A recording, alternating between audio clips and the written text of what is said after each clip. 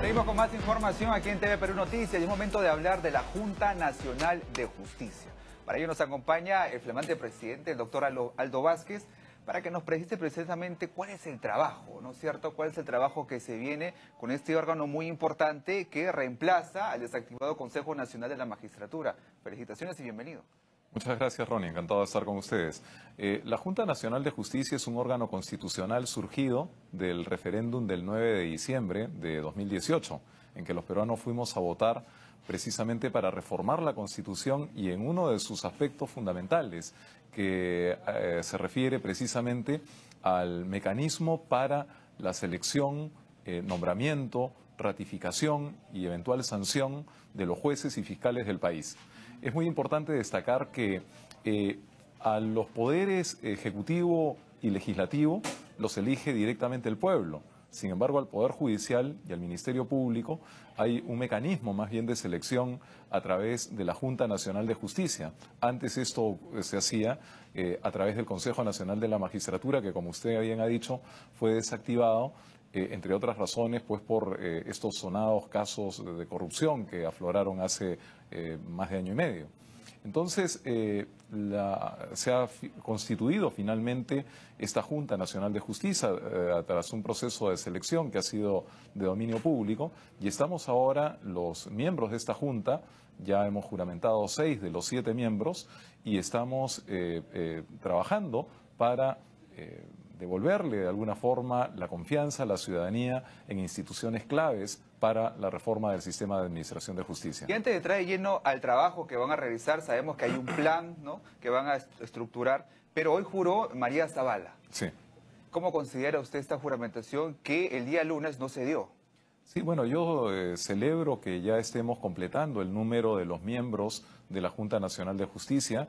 He tenido el gusto de darle la bienvenida ya en nuestra Junta Nacional de Justicia y esta tarde justamente, en un rato más, vamos a continuar nuestra, nuestro pleno, porque estamos, nos hemos declarado en sesión permanente en nuestro pleno de la Junta Nacional de Justicia.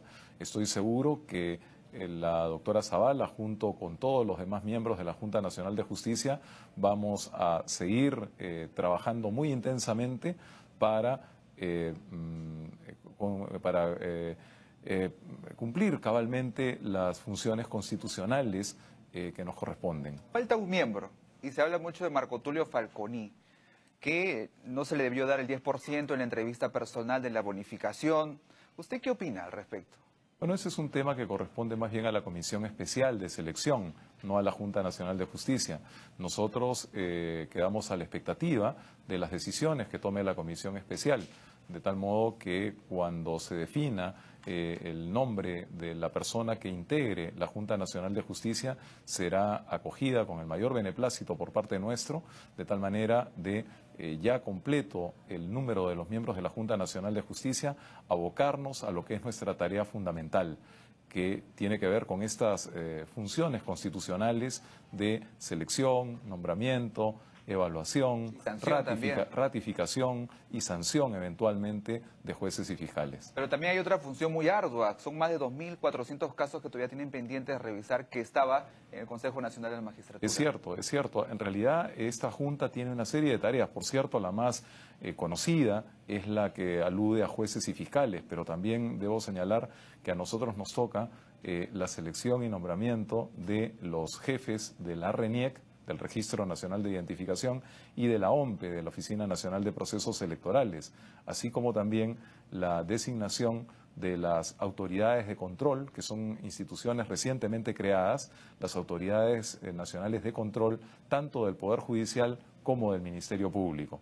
De modo que es verdad, la tarea es ardua y usted con razón ha señalado que además la propia ley orgánica de la Junta Nacional de Justicia, en ella, eh, se nos ha encargado una tarea adicional, que es eh, temporal, que es la de la revisión de eh, aproximadamente 2.400 casos vistos por el extinto Consejo Nacional de la Magistratura. Naturalmente no vamos a revisar exhaustivamente todos, salvo aquellos que en donde haya, porque así lo manda la ley, la ley establece que debemos nosotros revisar y eventualmente declarar la nulidad en aquellos casos en donde haya indicios de graves irregularidades. Ahora, en estos casos, 2.400 está el del señor Pedro Chávarri, eh, Víctor Rodríguez Montesa y Tomás Alves. Eh, independientemente de los nombres, nosotros veremos con, eh, enorme atención todos los casos que requieran de nuestro pronunciamiento. Ahora, hay también unas plazas que falta cubrir, ¿no es cierto? Es verdad. Es verdad, no tengo en este momento el número exacto, pero son más de mil eh, plazas que eh, deben ser cubiertas, eh, de modo tal que hay una tarea pues muy grande, pero que no se limita solamente a la designación de jueces y fiscales o a la revisión que usted ha aludido, sino que también nos corresponde, junto con la Academia de la Magistratura, hacer evaluaciones parciales de los jueces y fiscales, porque eh, los jueces y fiscales son designados por siete años, pero a medio término, eh, con tres años y seis meses, eh, deben hacerse también evaluaciones parciales. Y esas evaluaciones parciales se hacen con la Academia de la Magistratura. Entonces ahí tenemos también una tarea muy importante. Y seguramente otra de mucho mayor alcance en el tiempo, quiero decir, eh, y es la de promover una cultura de eh, dignificación de la labor de los magistrados, tanto del Poder Judicial como del Ministerio Público, de tal manera que se convierta la carrera de juez y la carrera de fiscal en una opción eh, de la mayor, del mayor aprecio por parte de la ciudadanía y particularmente de los profesionales del derecho. Queremos a los mejores profesionales del derecho, a los más idóneos, a los más competentes desde el punto de vista profesional, pero también a los más comprometidos desde el punto de vista eh, ético, desde el punto de vista de sus valores, de sus principios.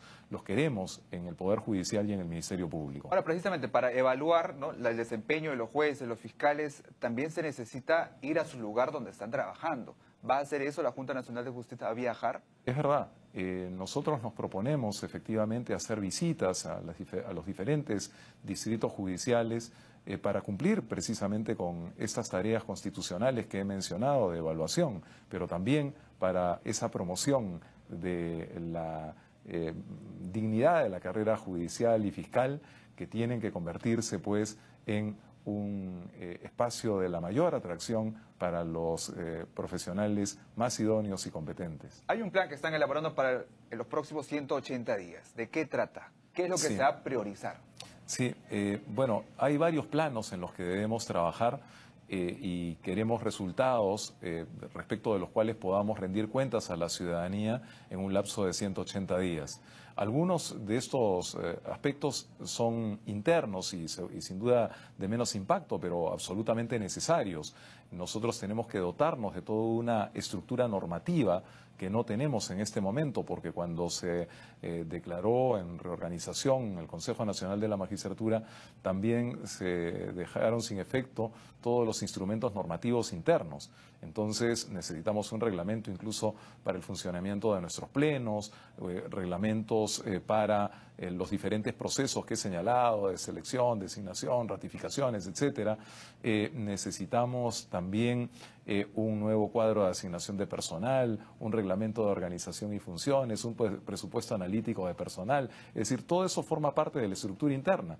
Tiene mm, probablemente poco interés eh, desde el punto de vista de la opinión pública, pero para nosotros son herramientas indispensables para el cumplimiento de nuestras tareas. Pero por otra parte, eh, también, por supuesto, queremos resultados en relación a esa revisión de expedientes a la que hemos aludido antes. Si bien es verdad que la ley nos otorga un plazo de 18 meses, sin embargo creemos que debemos ir avanzando y señalar metas a ese propósito eh, en un plazo eh, más breve, de 180 días. No porque vayamos a completar la tarea, sino porque hay algunas metas significativas que deben ser alcanzadas en un plazo eh, relativamente breve. Pero por otro lado, también queremos en esos 180 días dejar sentadas algunas evidencias de nuestro compromiso.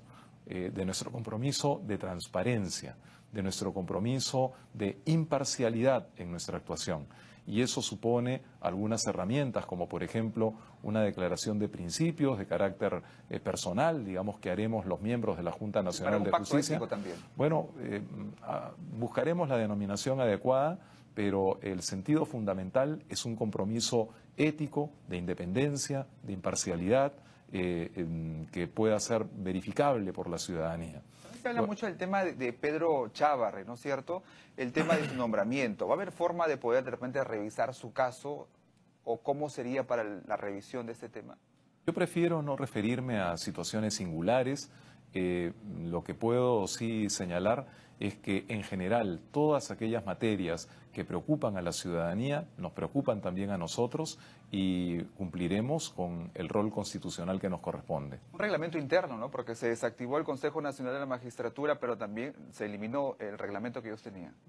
Eh, sí, como he señalado hace un momento, hay una serie de instrumentos normativos internos que debemos eh, eh, construir porque fueron todos abogados en su oportunidad. Es parte de la tarea.